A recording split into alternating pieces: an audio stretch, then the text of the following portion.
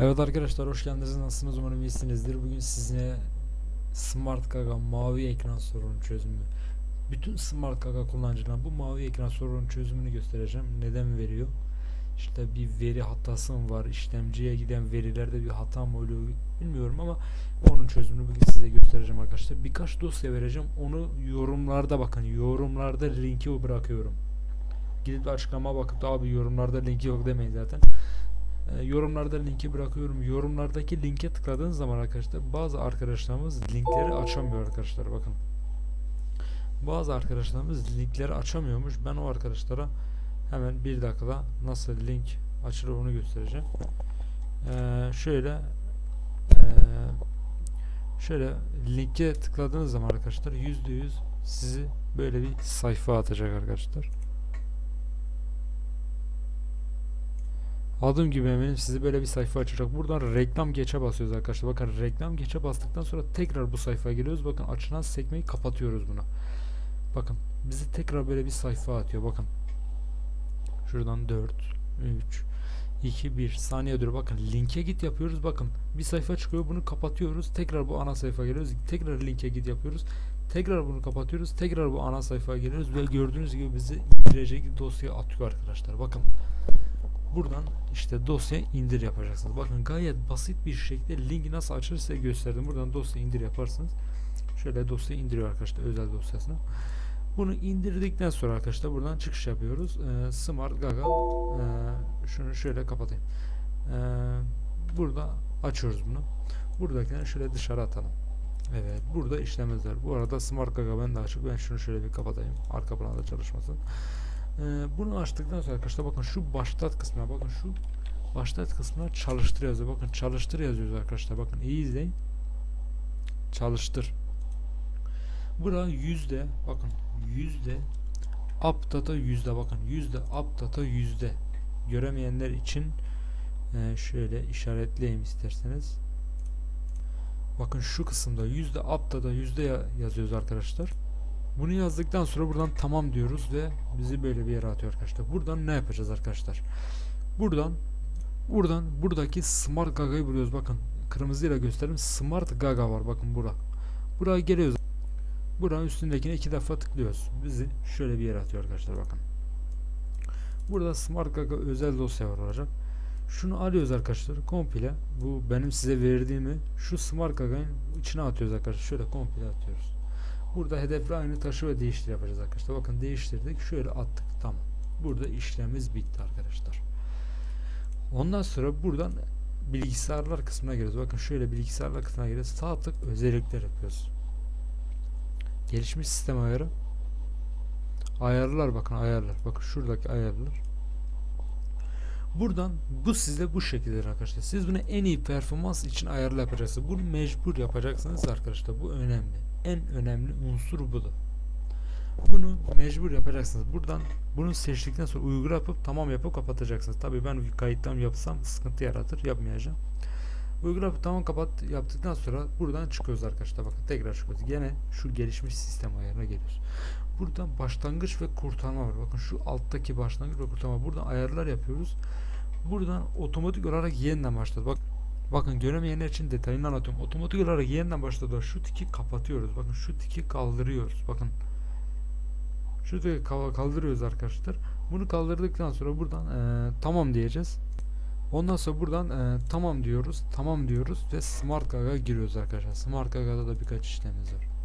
Şuradan ben şöyle Smart Gaga gireyim. Evet. Ben buradan giriyorum. Siz artık nereden giriyorsanız şöyle giriyor arkadaşlar. O gösterdiğim hususlar çok önemli arkadaşlar. Bilginiz olsun şimdi söyleyeyim ben. Şöyle. Bir de verdiğim link, vereceğim verdiğim linkteki dosyalar kesinlikle indiriyorsunuz. Şöyle girsin abi. Sıkıntı yok. Girsin. Hiç problem yok.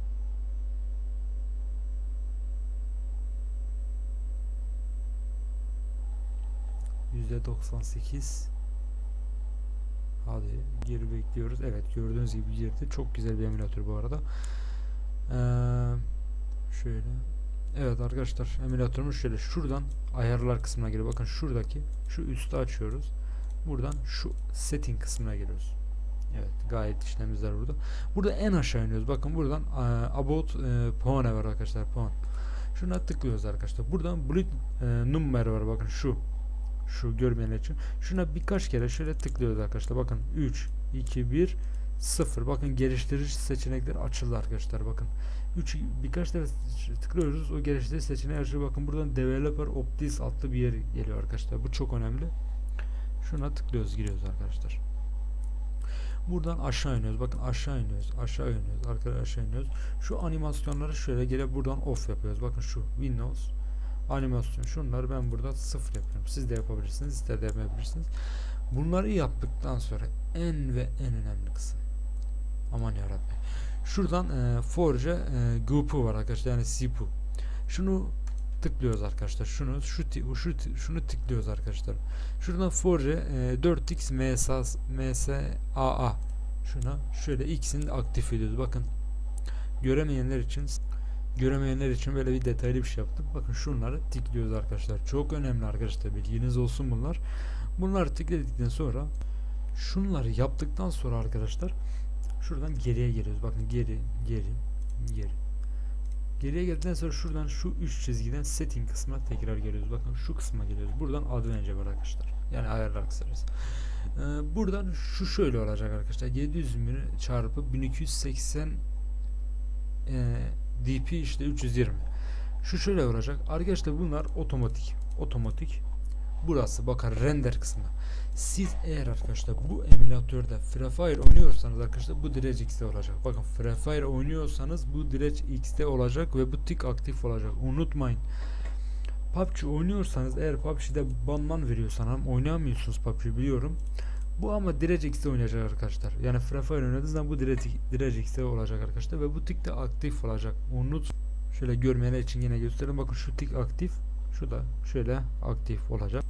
Ondan sonra arkadaşlar şuradan e, şunları kapatalım arkadaşlar isterseniz. Şöyle şunu e, save yapıyoruz. Şunları kapatıyoruz arkadaşlar. Burada şimdilik bir işlem bitti. Şunu tekrar kapatıyoruz arkadaşlar. E, şuradan Smart Gaga'yı buluyoruz arkadaşlar. Bakın Smart Gaga. Bakın şöyle. Şuna sağ tık özellikler. Buradan uyumluluk var arkadaşlar. Bakın uyumluluk. Uyumluluğa geliyoruz arkadaşlar. Bu arada arkadaşlar unuttum size bir link daha vereceğim. Aynı o linki yine öyle açacaksınız. Bu linkte Smart Gaga özel adlı dosya. Şuna geliyoruz arkadaşlar. E, linkte verdiğim gibi. Şunu indirip dışarı atıyorsun. Az önce de gösterdim nasıl indirildiğini size. Şu özel dışarı attıktan sonra şu içinde 3 tane dosya var arkadaşlar. Şunları şöyle kopyalıyoruz. Bakın şöyle gel abi. Kopyala. Bakın şunları şöyle kopyaladıktan sonra buradan e, programlara geliyoruz arkadaşlar. Buradan Smart Gaga dosya konumu. Bakın Smart Gaga'nın dosya konumuna geliyoruz. Buradan o kopyaladığım şeyleri buraya yapıştırıyoruz arkadaşlar. Bakın şöyle yapıştırıp hedefteki dosyaları değiştir yapıyorsunuz arkadaşlar. Bunları yapıştıktan sonra bunlarla e, hiçbir işimiz kalmadı. Programlara tekrar geliyoruz arkadaşlar. Buradan Smart Gaga özellikler yapıyoruz. Buraya geliyoruz arkadaşlar. Buradan uyumluluğu İşletim sisteminiz hangi sistem? Mesela Windows 7 ise Windows 7 yapın. Ben 8 arkadaşlar. Baz, e, buradan yüksek DP ayarını devre dışı bırak. Yani ben bunu yapmıyorum arkadaşlar. Yani siz ya siz de yapmayın arkadaşlar. Yani tavsiye etmiyorum. Yani gerek yok şu anlık. Ama ben yapmıyorum. Siz de yapmayın arkadaşlar. Bu uygulama yönetici çalıştır. Tabii ki tikli olsun bu. Buradan tüm kullanıcı ayarlarını da değiştir. Şuna da geliyoruz. Şöyle. Buradan bu program yönetici olarak çalıştır. Uygula. Şuradan şunu da uygula yapıyoruz. Ve sıkıntımız gideriliyor arkadaşlar. Bunları yaptıktan sonra bakın halen sıkıntınız giderilmemişse halen mavi ekran veriyorsa arkadaşlar uygulamayı silin arkadaşlar. Bakın Smart Gaga'yı nasıl sileceğinizi de size göstereyim. Şöyle denetim masasından girin.